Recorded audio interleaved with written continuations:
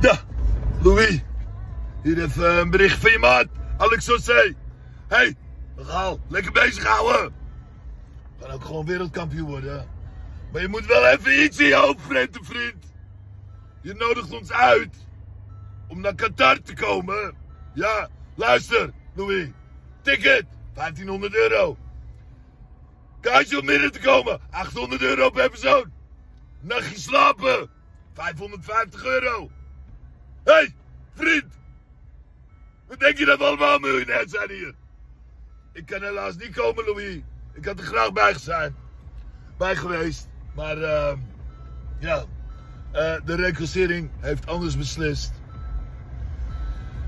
Ja, verder Louis, als je me echt, echt, echt nodig hebt, dan uh, kan ik vragen aan mijn reclasseringsambtenaar of je een uitzondering wil maken. Speciaal voor meneer Van Gaal.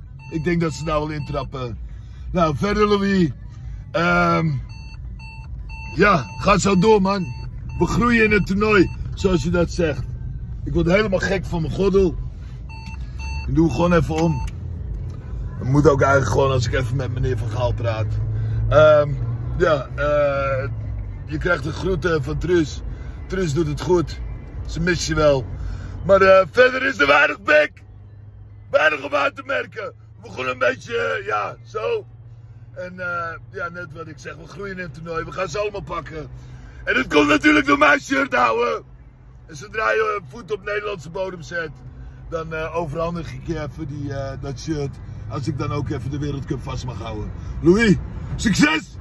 De mannen van Oranje, succes! En luisteren naar meneer Van Gaal. Oes, want alles kan kapot. Behalve ons Louis.